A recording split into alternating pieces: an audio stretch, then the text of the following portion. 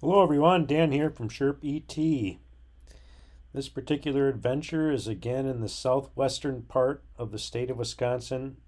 In my opinion, just an absolutely beautiful area. A lot of very steep hills, a lot of places that the glaciers did not touch.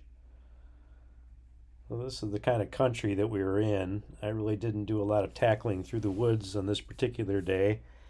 I was just testing out the old new trailer.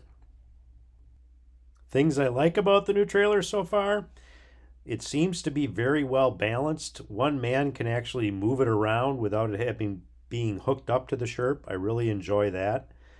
The uh, hitch mechanism on the front is a hell of a lot better than any type of mechanism I've ever used in the United States. It seems to be very solid. I don't think that thing would come off at all. I've went on a number of very sharp inclines, no issues with binding or anything. However, I do believe that you could jackknife it if you just turn in a circle. I don't know if it would really wreck anything, but I did have a tire mark on the front of the trailer from the Sherp when I was in mud in my backyard.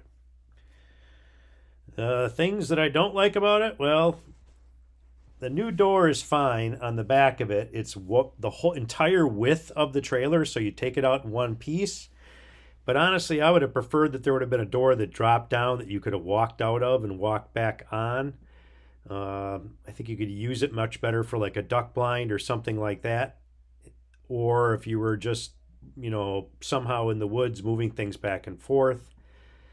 Uh, I would prefer that it had that drop down trailer, but it's fine. But right here, you know, I'm going almost in fourth gear, so I'm probably going almost 20 miles an hour. It pulls just fine. Doesn't doesn't make any noises. There is some additional resistance back there, you can tell, but all seems to be good. Special thanks to Brad for taping this for me on the old Mavic Pro. Um, got to play a little bit with the drone, which is kind of fun too. And since I was out there just playing a little bit with the Sherp, he decided to get a little practice in. So we both had a good time playing around for a little bit. Well, that's all I think I'm going to capture today. Hope everybody has a great day. Thanks for subscribing and watching. Take care. Bye bye.